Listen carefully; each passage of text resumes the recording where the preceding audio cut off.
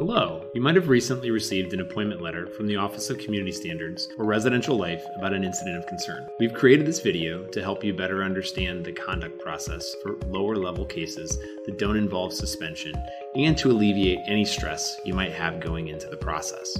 Here at the Office of Community Standards, our work is grounded in the values of collaboration, community, developmental growth, equity, humanity, and inclusivity in that spirit, the OCS truly believes that mistakes are opportunities for improvement. We'll mainly focus on engaging you around the incident and the decisions you made at that moment. To learn more about these values, you can visit pages 103 through 104 in the student handbook let's jump right into the gist of the process. First, any community member, be they a student, faculty, staff member, neighbor, or formal Northwestern organization, can submit a community concerns report. Once we receive that report, we'll take a close look at it to see if there is enough information to kickstart the student conduct process. In evaluating the report, we'll look for the who, what, when, where, and why to see if there are any potential violations of the Student Code of Conduct. In cases where violations may have occurred, we'll assign a case resolution coordinator. They could be an assistant director or residential director if you live on campus, and an OCS staff member if you live off campus.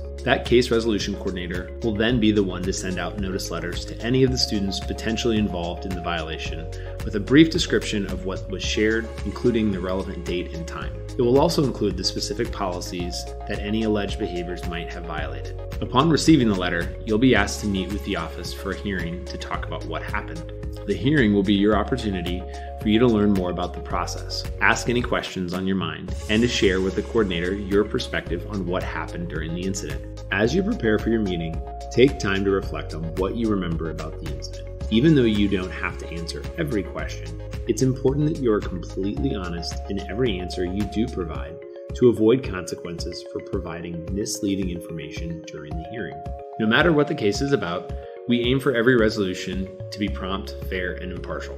We'll openly hear multiple sides and keep ourselves trained on topics such as bias and process management to achieve the most accurate outcome. Throughout the process, you are allowed to have an advisor accompany you in your hearing. According to Northwestern policy, that advisor has to either be a student, staff, or faculty member at the university whom cannot play another role within the process, such as a witness. They can help support you emotionally or through process coaching, but can't speak during the hearing. Once your coordinator has all the relevant information at hand, they'll then have to make a responsibility decision. They'll do so based on the preponderance of the evidence standard, which basically means that the burden of proof will be satisfied when there's enough evidence that demonstrates that the allegations have a greater than 50% probability of being true. In other words, if a claim can be demonstrated to be more likely to be true than not true, the burden of proof is met. If you are eventually found responsible for any policy violation, your coordinator will then turn to Northwestern's sanctioning guidelines to choose the appropriate sanction or sanctions. For more information, you can turn to page 40 of the student handbook. Our sanctions serve several purposes. They're not only meant to address the cause of the violation, but also to reestablish alignment with community standards. They might also seek to repair the harm to those impacted and restore you to a good standing within the university community. After the hearing, you'll receive the coordinator's findings and potential sanctions within an outcome letter. At this point, you can choose to appeal. However, you'll have to qualify on at least one of three grounds. Number one, new evidence.